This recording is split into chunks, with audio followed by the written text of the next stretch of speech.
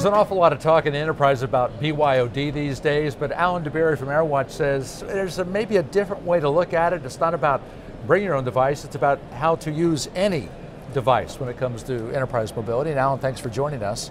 Well, thank you very yeah. much. Tell me about, you know, so how, how are we looking at it, uh, I hate to say through the wrong prism, but through a, a prism that you suggest might be a little off?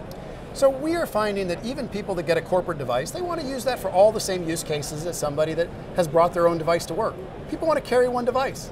They want to charge one device. They've got one life. They don't have a corporate life and a personal life. They have a life. And to say to your corporate folks, we're not going to let you um, shop on it. We're not going to let you consume entertainment. We're not going to let you use it as your car key or your credit card. We think it's almost irresponsible. So these devices need to have all of those same capabilities and security. And you really need to be thinking through the use case of corporate devices in many ways similar to your BYOD environment.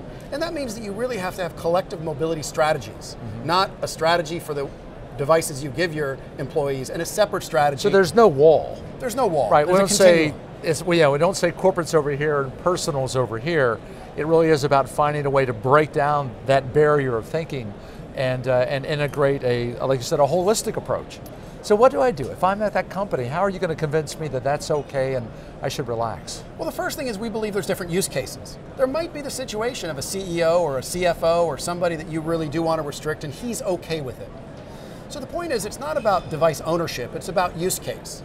We believe that there's got to be a lot of flexibility. There's going to be a lot of use cases where you only need email on the device. There's going to be board members that only want the board packet. Uh, and as a matter of fact, they might be on two or three boards, and so MDM doesn't fit.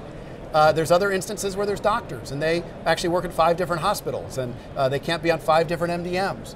So the point is that you have to start with what are the use cases you're trying to solve, and then find systems that are broad and flexible and meet all those needs securely and that allow the user to have a great experience. So how do you do that in terms of flexibility?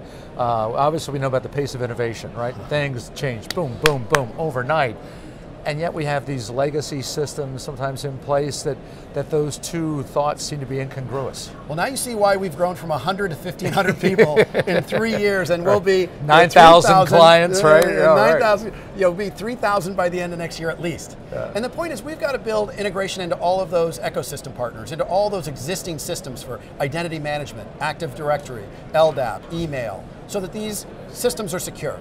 Secondly, we've got to build uh, flexibility across this broad enterprise mobility platform for security and flexibility that might be email only, app only, content only, or fully integrated platform. And the problem again is companies want one platform to manage all of their mobility. Mm -hmm. They don't want five different consoles and when the ruggedized device gets converted to a, uh, a, a, tablet or a, a modern phone, that all of a sudden it's being managed by something else. They want one solution to do it all. Right. AirWatch is making mobile simple, or simpler, I should say. Uh, if you had to say there is a, a challenge though in that, is it is it in the vertical? Is it because healthcare has one need, trucking has one need, retail has one need? I mean, how do you go across the vertical and identify what their specific challenge is? So, so we have actually uh, uh, uh verticalized our company so that we've got dedicated people by each vertical. Mm-hmm. And that's not really the complexity. We, we figure that out. There's a lot of shared use cases. Uh, it helps our people talk the lingo better. And it, certainly there are some instances of functionality, but that's not the hard part. It's the dizzying rate of innovation. Mm-hmm. It's the number of operating systems. The fact there's a new operating system every 15 days that we need to stay on top of. The fact that things like gear and the watch that is being paired with it, the machine to machine, the printers, the things like the use cases in shopping and, and mobile wallet, uh, all of these things need to be thought of in advance because we've got to be on top of that the day those things get released, or else we're causing security problems for our customers. And our customers are the ones that can't afford that. These are big oil and gas, government. These are companies and enterprises with the highest security demands in the world and so we've got to be in front of all of that innovation. Well, it looks like you're staying in front of the game. Uh, no doubt about that. Thanks for the time and thanks for the insight. Thank it's a pleasure. You. Appreciate your time. Thank you, sir.